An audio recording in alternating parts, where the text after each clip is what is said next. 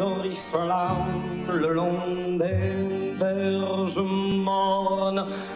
Okay, so this song is based on Greensleeves. Do, do, do, do, do. See if you can kind of catch it within that. And green sleeves is a really important song for music theory because do do is your minor third. So if you are uh, doing harmonies in a minor key, uh, then Greensleeves can be really really helpful to help you find that minor third above do do ah yes there there it is.